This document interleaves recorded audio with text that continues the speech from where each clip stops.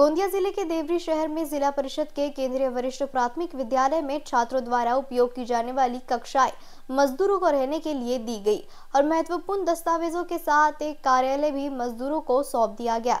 अर्जुनी तालुका के कुछ मजदूर देवरी में जिला परिषद स्कूल में एक याद की दीवार बनाने के लिए देवरी आए। तो एक घटना हुई, जहाँ प्रिंसिपल ने उन मजदूरों के लिए आवास के रूप में कक्षा और कार्यालय खोल दिया। एक ही रसोई में छात्रों के लिए स्कूल का भोजन भी पकाया जाता है। गोंदिया ज़िले के देवरी शहर में जिला परिषद के केंद्रीय वरिष्ठ प्राथमिक विद्यालय में निर्माण ठेकेदार के मजदूर को छात्रों के कमरे में अध्ययन करने के लिए एक कमरा दिया जाता है, जिसमें छात्र खाना बनाते हैं। कार्यालय जहाँ सभी स्कूल सामग्री, स्कूल रिकॉर्ड और अन्य महत्वपूर्ण चीज़ें होती है, सामग्री रखी हुई है। कक्षा कक्ष और ठेकेदार का कार्यालय बताया गया है की प्राध्यापक ने लोगों को रहने के लिए दे दिया है। ऐसे में देवरी के नागरिक अब पूछ रहे हैं कि स्कूल भवन निजी ठेकेदारों को रहने के लिए कैसे से दे दिया गया।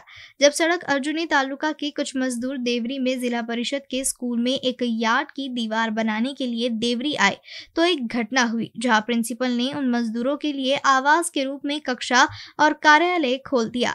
एक ही रसोई में छात्रों के लिए स्कूल का भोजन पकाया जाता है। स्कूल के महत्वपूर्ण रिकॉर्ड कार्यालय में रखे जाते हैं, क्योंकि कमरे बाहर से आने जाने वाले मजदूरों को दिए जाते हैं। इससे संदेह होता है कि प्रिंसिपल की ठेकेदार के साथ मिली भगत है और इसमें कोई गड़बड़ी हुई है। संभावना है कि अहम दस्तावेज़ गायब है, लेकिन अब प्रशासन की क्या भूमिका होती है, ये देखना अहम होगा।